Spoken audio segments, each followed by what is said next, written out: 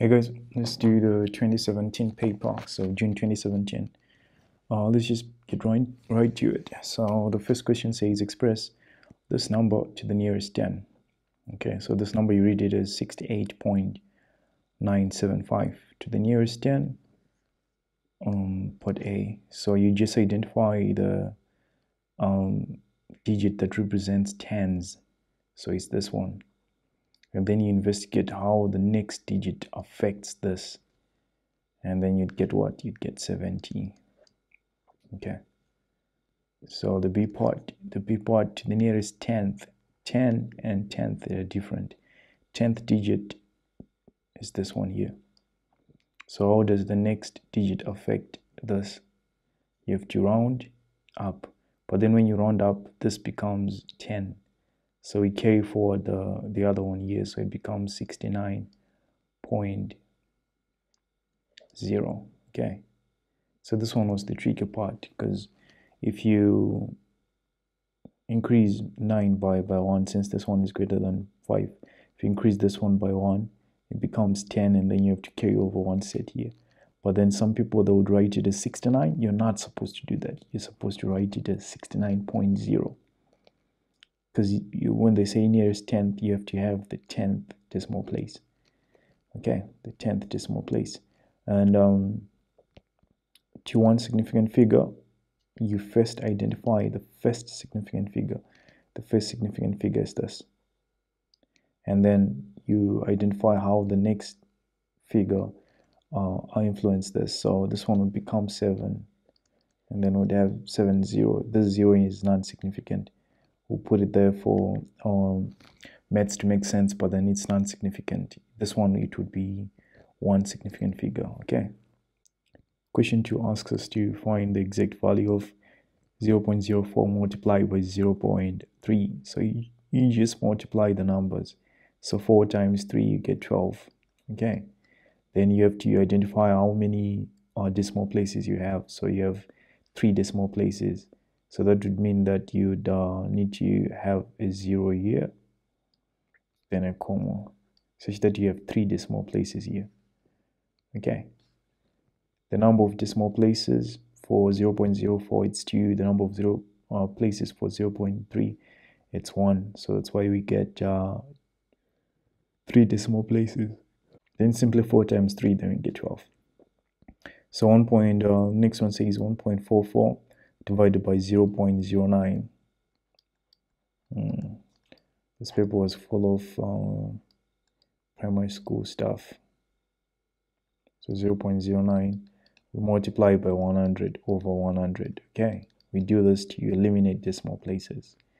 So uh, in the in the in the denominator only we were concerned uh, about the denominator not the numerator. The numerator would have to I'll multiply by 100 as well so that we can maintain the value okay? So 9 into 9 that's uh, 1 9 into 14 that's 1 and what? And 5 9 into 54 that's what? That's 6 okay? So you actually get 16 here. Then this minus 1. Uh, 72 what you do here is you have to identify direct numbers you have to identify which one is bigger in terms of size. When you ignore the signs which one is bigger. Obviously it's 1.072 this one is going to dominate. It means that this the sign of the number will have the sign of the bigger size number. In our case ignoring the denominator the uh, signs at the 1.72 then after you put minus you simply subtract okay now it will be 1.72 minus 0 0.89 like this. And here you would have uh, 3 I think. We get to 9 so you'd have 17 more, more minus 9 then you get 8 then 0 so it'd be minus 0 0.83 so direct numbers different signs. So we apply the different signs rule. The different signs rule says answer takes the sign of the bigger sized number when you ignore the signs. So the bigger size number was 1.72 and we say 1.72 minus 0 0.89 then we simply get this. Let's quickly move to question 3. Question 3 says evaluate you have uh, 2, 2 to the power 1.6 multiplied by 2 to the power 0.4. So you have to apply laws of indices here. So it'd be 1.6 plus 0.4. If the bases are the same and you're multiplying, that means you can add the indices. Okay, so 1.6 plus 0.4, you get 2.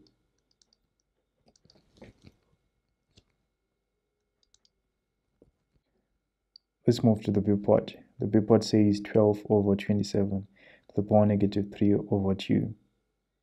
I think they wanted to trick you here, but uh, anyway, uh, what you're supposed to do here is to recognize that this is not in its lowest term. Okay, so we can start by adjusting that. 3 is a factor. So you get 4 over 9 here to the power negative 3 over 2. After this, get rid of the negative sign when you have a fraction you get rid of the negative sign in the power by flipping the sign so the numerator becomes the denominator the denominator becomes the numerator then it becomes the power 3 over 2 then after this write your big square root sign. Then you have 9 over 4 here. Write your big brackets. You have 3 here. The numerator is the power and the denominator is the is the root. So 2 means second root means square root. So square root of um, 9 it's what? Is 3 square root of uh, 4 it's uh, it's 2 these they are they're two marks okay okay. So that's okay. So to the power 3 you get 3 to the power 3 over 2 to the power 3 which is equal to 27 over 8 okay. 27 over 8 that's that would be your answer. Let's quickly move to question 4 question 4 says solve this equation. Um here you can see that we have four entries when you expand this when you expand this you actually have four entries so you can think of it as someone was solving this trying to factorize and then they fail they just stopped midway so you're supposed to take over that how do we know that just because we can have a matching bracket for this one when you work out as many uh, questions as you can, at some point you start noticing some of those things. When you factor out negative, then you get x minus minus 3. So practice, practice, practice. So these ones, the brackets they have matched, so that means they can be a bracket of their own. This one and this one, they become x and minus 1 here. Then x minus 3 here equal to 0. So you say x minus 1 equal to 0 or x minus 3 equal to 0 then x is equal to 1 or 3 like this and then obviously you're done so this is how you solve you solve the equation don't expand if you expand you have to factorize again and then you have to go through uh, some of the steps okay so don't factor just inspect and then see whenever there's four entries usually in factorization when they say solve or when they say factorize Usually what it means is that you have to match the brackets. Okay, let's quickly move to question 5. Question 5 says express 6 minutes uh, to 8 at night as a time in 24 hour notation. So 6 minutes to 8 would be 7, then it means um, uh, 6 minutes to, to 8, it means that 7, 6 minutes before 60. So it means 7.54, okay p.m. But then you want it in 24 hour notation. So you increase this by, by 12. So this becomes 19. In 24 hour notation, this becomes 1954. Okay. 1954 hours. This.